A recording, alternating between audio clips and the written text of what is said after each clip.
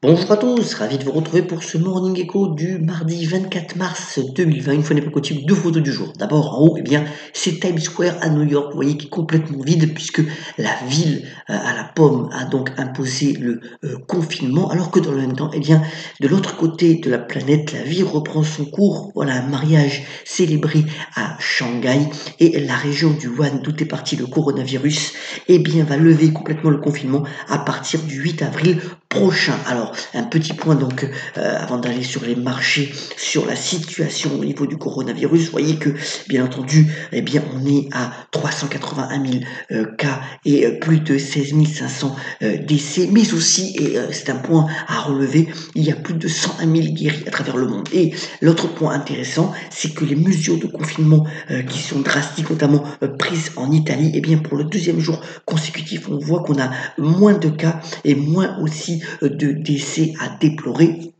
alors, bien entendu, euh, le, Premier ministre Edouard Philippe, pour revenir sur la France, euh, va durcir ses mesures de confinement, mais on voit que progressivement, eh bien, euh, ça porte ses fruits. Alors, les marchés restent extrêmement volatiles, nerveux. Il y a encore une baisse importante sur les marchés américains, puisque on est revenu sur le niveau de 2016 et, l'élection de Donald Trump. Mais en même temps, eh bien, la Fed, la banque centrale américaine, eh bien, je lance un plan de d'aide à la liquidité et d'aide à l'économie sans précédent, mettant donc énormément d'argent sur la table, alors que dans le même temps, eh bien, le Congrès américain euh, est toujours en train euh, de discuter sur lui aussi son plan d'aide. Je vous rappelle de 2000 milliards de dollars avec une aide directe aux particuliers, un allègement d'impôts, un allègement aussi bien entendu pour les entreprises assez significatif. Et dans ce contexte-là, eh bien, le grand gagnant de nouveau, ça a été l'or. On en parle depuis euh, maintenant euh, plusieurs semaines. Vous voyez qu'il avait subi malheureusement eh bien, euh, les dégagements de la part de traders qui n'avaient plus de sous pour compenser eh ben, leurs pertes, notamment sur les marchés des actions.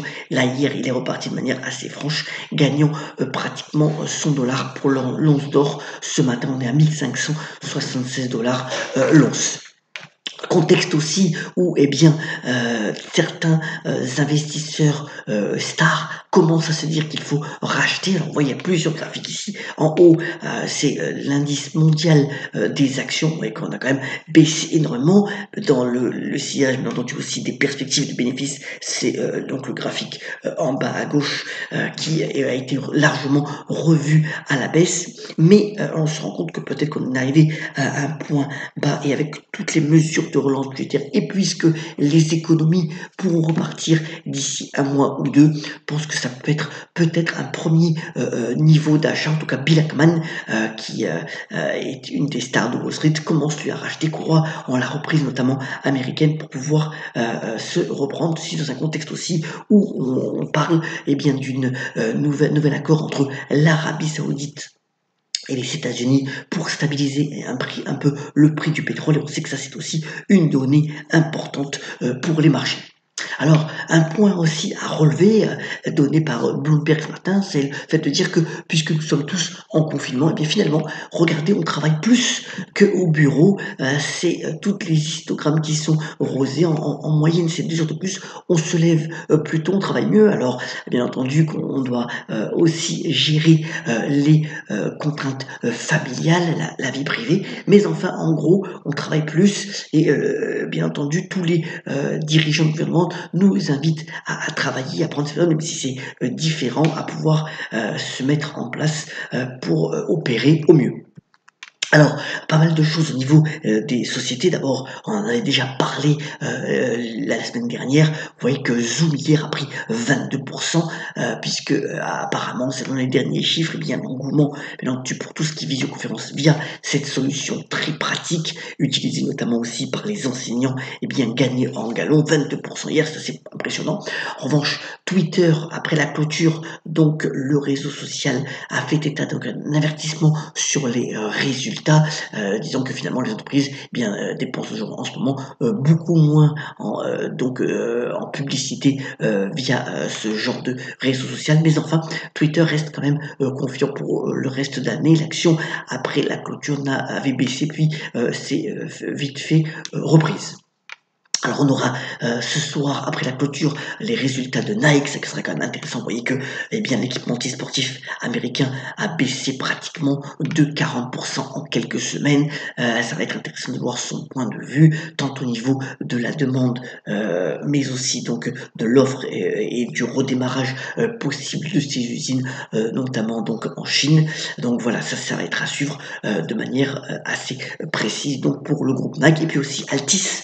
Donc la maison mère notamment euh, d'SFR, mais aussi euh, du, groupe de presse et euh, de BFM qui va publier ses résultats aussi après la clôture. Vous voyez que hier l'action en anticipation a pris 7%, aujourd'hui aussi puisque ça publie donc à, 17h30.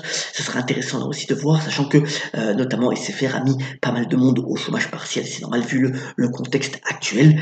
et puis aussi un point peut-être sur la consolidation des opérateurs télécoms en France, puisqu'on est toujours à quatre opérateurs et que peut-être pas immédiatement en vue de la situation globale, mais il pourrait y avoir là aussi des mouvements de, consolidation assez importants sur ce secteur-là. Alors, euh, niveau d'initiative, ça vous a certainement pas euh, échappé.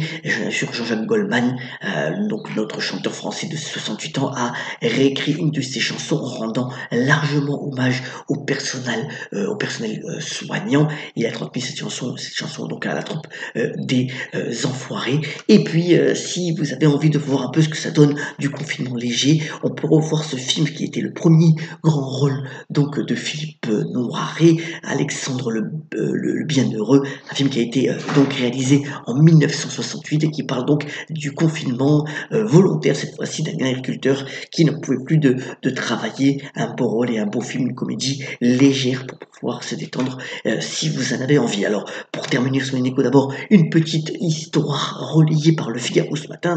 C'est un rabbi, un rabbin, donc un de ses fidèles lui demande, Rabbi, qu'est-ce qu'on peut faire contre le coronavirus? Le rabbin répond, eh bien, donnez-lui du matzot, c'est-à-dire des, en fait, des fines galettes euh, qui ne lèvent pas. Euh, et puis, donc, le patient dit, mais ça va, le, guérir pour le coronavirus. Le rabbin répond, non, pas du tout, mais au moins, ça passe sous la porte. Alors, on termine sur un écho, toujours en souhaitant que ce confinement en France fonctionne bien. Soyons vraiment rigoureux là-dessus. Et on termine ce, euh, morning par la citation du jour. Elle nous vient donc de Jules Verne, qui a notamment déclaré, on peut braver les lois humaines, mais non résister aux lois naturelles. Alors, euh, bonne journée à tous. Soyons euh, bien entendu solidaires, c'est le maître mot. Et vous voyez que si euh, mon fils est à côté et j'ai mis un petit peu. Donc, je vous souhaite à tous une excellente journée. On se retrouve demain pour un nouveau Morning